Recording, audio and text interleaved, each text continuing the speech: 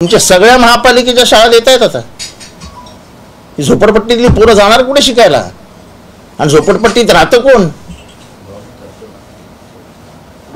दलित OBC S T हेच राहतात ना तिथे.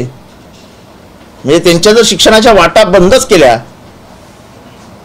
तर प्राचीन काळचा भारत परत एकदा या देशात निर्माण होईल. त्याची भीती आहे ना माझ्यासारख्याच्या मनामध्ये.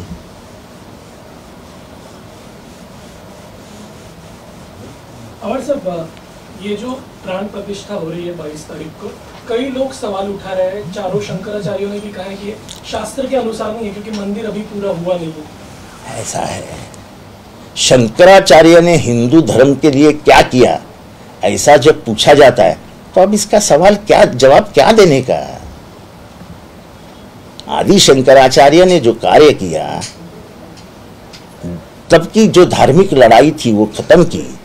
और हिंदू धर्म को एक करने का काम करके आगे बढ़ाया। आज जो हिंदू धर्म दिख रहा है, वो सिर्फ़ आदि शंकराचार्य की मेहरबानी है। और ये पीठ अभी के नहीं है। आदि शंकराचार्य के जमाने से ये पीठों का निर्माण किया गया है।